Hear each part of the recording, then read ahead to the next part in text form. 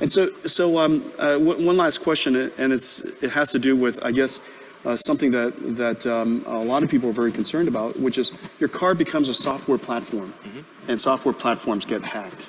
How do you think about that? How do you think about security, and what are some of the things that we could do to try to make, make, uh, make the car more resilient to, to uh, security attacks? Yeah, I think that that becomes really important when the cars um, are fully autonomous. I mean, the, the way the cars work right now, um, every system in the car, it's assumed could actually have a mechanical failure of some kind or, or a logic failure, a fundamental logic failure. So you can always overwhelm the, the, the braking of the car with your foot, and you can overwhelm the steering wheel with your hands. So, uh, but, but when, when there isn't a steering wheel or there isn't, you know, brake pedal or something that, like, you know, many years from now, then it's really, really dangerous, you know, because, uh, but, but even as it is right now, what we spend most of our time on is making sure that it's, it's very difficult to do um, a multi-car hack. Like, if you have direct access to a car, just like if you've got direct access to a computer or, or any, even a conventional car, you can do a lot of things to it. Um, but, but that, that's less of a concern than somebody being able to hack an arbitrary car or multiple cars. So that's what we, we focus our energy on is making sure that that, in, in, in that ways, it's, it's, it's a lot like a, like a cell phone or, or a laptop.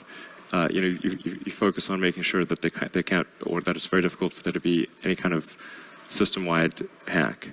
Um, so we put a lot of effort into that, and we have third parties try to attack it. And, um, and, and then certain parts of the, the car at, at the very fundamental level, like the drive unit controller uh, or the steering controller, have a, an additional level of security. Um, so somebody may be able to, Uh, you know, ha- hack something that's uh, cosmetic, but it's much harder to hack something that's that's actually physically dangerous. Mm-hmm, mm-hmm, mm-hmm. There's, there's multiple levels of security. Yeah, and so this way, if you, if you were to be able to penetrate maybe the infotainment system, it doesn't allow you quickly Exactly. as a result of that. Right. I mean, it may display a funny message or something, but it would not. You would not be able to then control the steering or the, the motor. Yeah.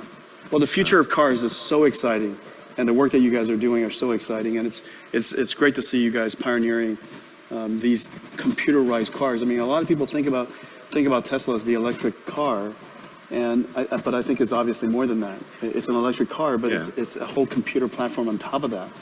Yeah, I think I think Tesla's. I mean, Tesla's sort of the leader in electric cars, but I think we'll also sort of be the leader in autonomous uh, cars, at least autonomous cars that people can buy. Um, and and we're, so we're. I mean, if there's anybody who's interested in working on autonomous cars, we'd love to have you work at Tesla. By the way.